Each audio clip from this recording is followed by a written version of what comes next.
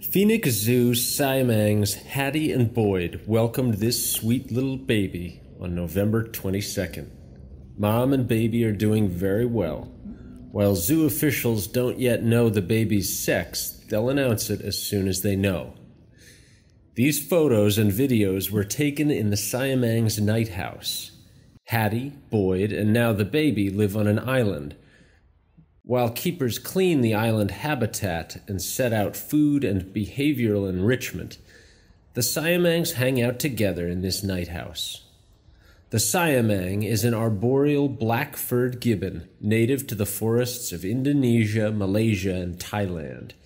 The species is classified endangered on the International Union for Conservation of Nature's Red List of Threatened Species.